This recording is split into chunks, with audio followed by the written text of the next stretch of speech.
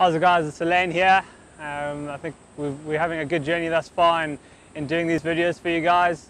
Um, we've actually received a question from Jonathan Douglas around bike setup. So the question is, how does the bike setup uh, rules apply to road bike versus mountain bike? I think you can give great insights into this. So why don't you answer Jonathan's question for us? Right, so the question was um, on bike setup and how does that relate to road bike, mountain bike?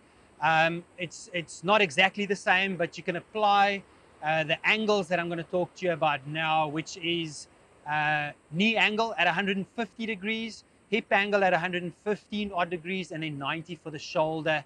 Um, yeah, so so very important to, to kind of look for those angles if you can, and you've got a friend or someone that can help you um, look at these angles. You can get a little protractor, which is a ruler device that can measure angles. You want those three, 150 for knee, 150 more or less for hip, and 90 for shoulders. Um, best best bet is to obviously go to a cycling shop. The guys can can set you up really really well there.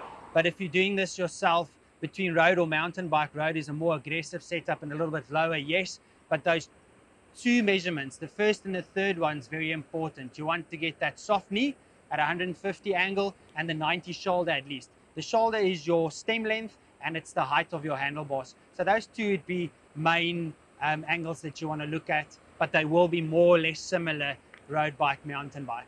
Cool.